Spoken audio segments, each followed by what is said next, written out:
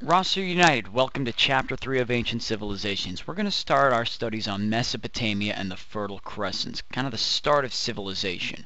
This is Lesson 1, the geography of the Fertile Crescent. Uh, we want to understand that the valleys of the Tigris and the Euphrates rivers were the sites of the world's first civilization. So it's important to know where they are and what we mean by the Fertile Crescent.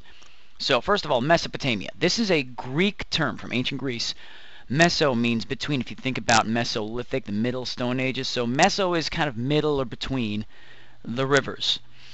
The Fertile Crescent is a region in what we know today as the Middle East. So countries like Israel, Jordan, Syria, Lebanon, Iraq, Kuwait, Iran, Saudi Arabia.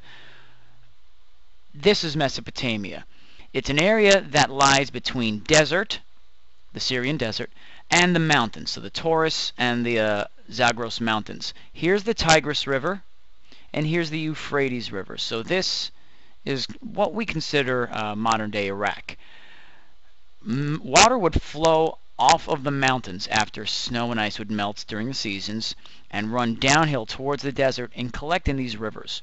Annual flooding from melting snow off the mountains would create silt. That's a richer mix of uh, soil and tiny rocks. This is great to help plants grow. This is exactly what plants need. The first farm settlements appeared in Mesopotamia around 9,000 years ago, so about 7,000 BC.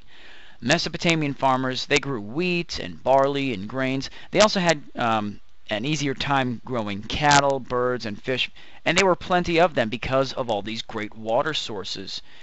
Plenty of food sources meant you had population growth, and when you have more people and you have more towns, you get civilization. The area doesn't get a lot of rainfall, even though it gets a lot of water, so farmers need to create ways to get water from those rivers to their farms. This is the start of irrigation. It's a way of supplying water to an area of land. So they would dig these man made canals from the rivers, and they would bring those canals to their farms. They would split them up like this. Irrigation meant Mesopotamian farmers could make more food than they really needed. There was more food than there was people.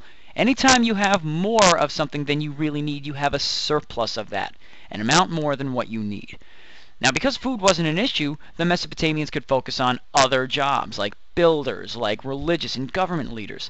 They were able to split up people's work based on what they could do better. This is a division of labor, where every worker has a specific task to perform.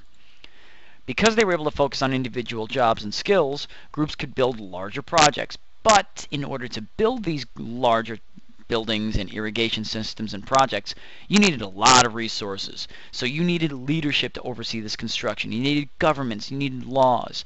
By the time these towns grew into larger groups, we know them now as cities around 6,000 years ago, 4000 BC. These cities were central locations. People could meet together. More people could meet together. They could trade goods in a set location, and they could gather their power and influence. So to summarize, you have this great location in Mesopotamia between these great rivers, the Tigris and the Euphrates, and their ability to gather resources led to the creation of the world's very first cities. Okay, I want to do a quick vocab check. So, take a look at all of these terms in black and try to see if you can match them up with the terms in blue. Pause here and hit play once you're ready to check your guesses. Go.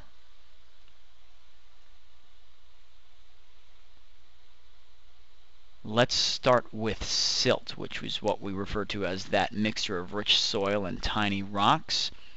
Cities were political, religious, cultural, and economic centers of civilizations. They still are to this very day. A division of labor is a type of arrangement in which each worker specializes in a particular task or job. You divide the labor among people who can do the jobs better. The Tigris and the Euphrates river valleys were the site of the world's first civilization. The term Mesopotamia comes from Greek and it means between the rivers and a region in southwest Asia. Irrigation is the process of supplying water to an area of land. The large arc of rich farmland that extends from the Persian Gulf to the Mediterranean Sea is the Fertile Crescent.